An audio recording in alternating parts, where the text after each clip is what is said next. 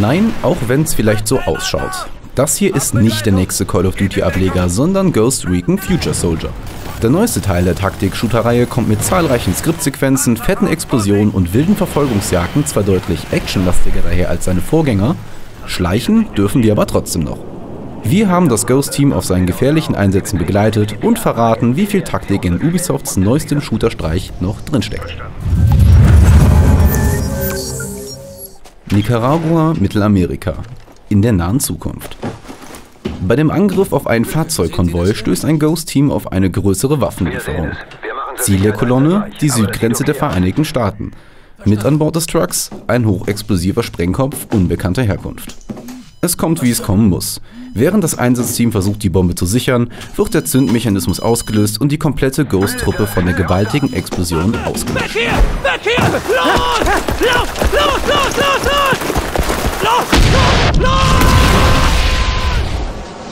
Als Mitglied eines neu formierten Ghost-Teams werden wir um den halben Erdball gescheucht, um den Vorfall aufzuklären und um die Drahtzieher hinter dem Anschlag ausfindig zu machen. Doch wie so oft verbirgt sich hinter der Tat ein weitaus größerer Konflikt, der sogar die internationale Sicherheit bedroht.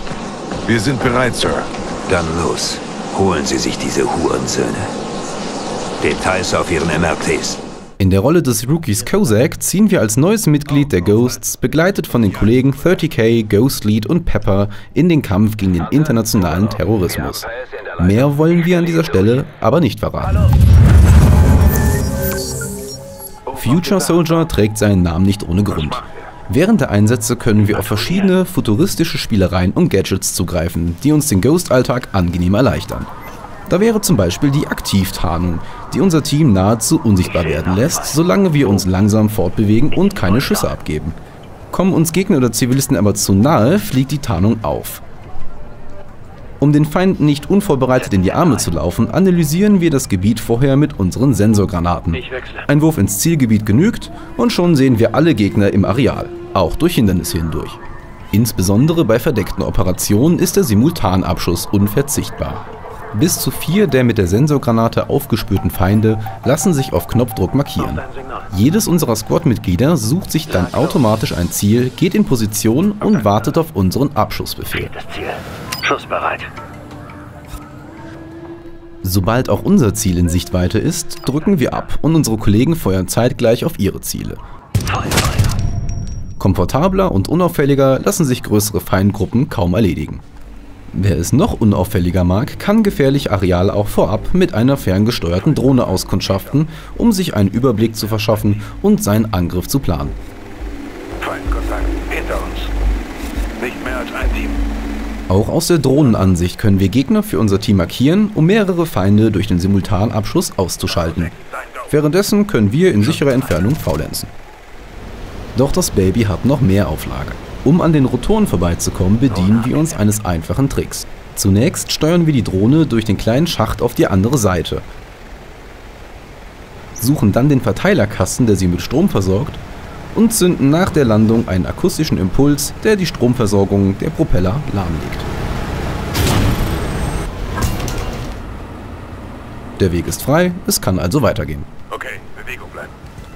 Mit diesem Schockimpuls lassen sich aber auch Feinde ablenken. Albern ist nur, dass wir unsere Drohne hier völlig ungestört mitten in einem Raum voller Gegner platzieren können, ohne dass jemand Notiz davon nimmt. Sei's drum. Wir zünden den Impuls, steigen durch das Dachfenster ein und schalten die überraschten Feinde aus.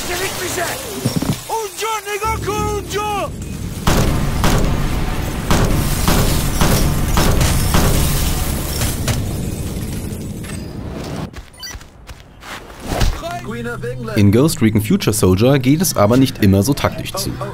Der fette Kampfroboter, mit dem unser Kollege hier herumblödelt, steht uns bei einer Mission in der Antarktis mit Granaten und fernlenkbaren Raketen zur Seite. Mist, ich hab Queen gesagt, hä?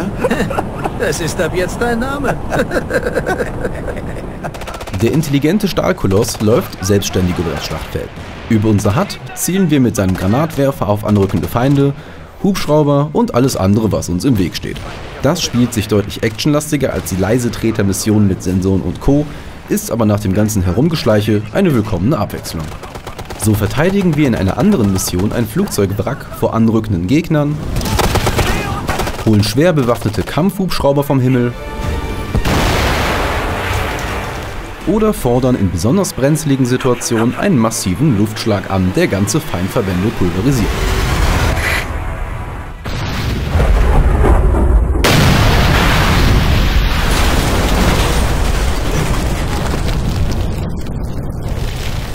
Diese sehr actionreichen Passagen erinnern eher an die explosiven Skriptsequenzen aus Call of Duty und werden Hardcore-Strategen wohl kaum aus der Reserve locken. Trotzdem, Future Soldier verkommt dadurch nicht zur simplen Schießbude.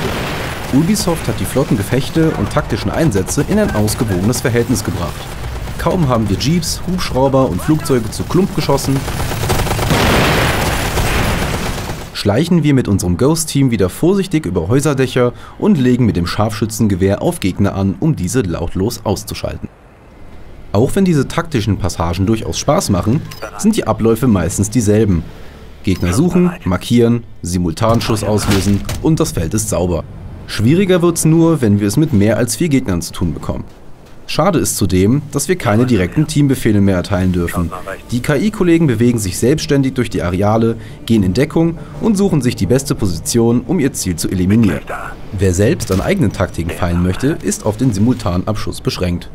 Wenn wir auf unsere KI-Kameraden keine Lust mehr haben, können wir die komplette Kampagne aber auch im Koop-Modus mit bis zu drei Mitstreitern angehen. Löblich. Auch wenn die Charaktermodelle und Animationen ganz ordentlich ausschauen, fällt Ghost Recon Future Soldier bei den Umgebungstexturen deutlich ab. Das hängt allerdings auch ganz vom gespielten Level ab. Die Holzbalken hier sind verwaschen und auch die Bodentexturen sind niedrig aufgelöst. Dafür läuft Future Soldier jederzeit flüssig. Ruckler sucht man vergebens. In den kargen Wüstenregionen sieht es da schon etwas besser aus. Die Texturen, insbesondere an Häusern und Mauern, sind deutlich knackiger zwar hat Future Soldier stellenweise mit Kantenflimmern zu kämpfen, die unschönen Treppchen fallen allerdings nur bei der Vegetation wie dem Baum im Hintergrund störend auf. Die Explosion und Raucheffekte gefallen uns hingegen sehr gut. Pluspunkte gibt es auch beim Ton. Soundeffekte und Umgebungsgeräusche sind stimmig und der dezente, teils minimalistische, aber stets passende Soundtrack sorgt für die richtige Stimmung auf dem Schlachtfeld. Zwei Schützen bei dem LKW. Ja, Ghost Recon Future Soldier ist deutlich actionlastiger als seine Vorgänger. Wer eine knallharte Taktik-Shooter-Simulation sucht, ist hier definitiv falsch. Trotzdem hebt sich Future Soldier durch den gelungenen Mix von Schleicheinsätzen und ordentlich inszenierter Action angenehm vom Shooter allerlei ab. Mehr Interaktionsmöglichkeiten mit dem Squad über Teambefehle und Co. hätten dem Spiel aber sicher gut getan. Power is nothing without control.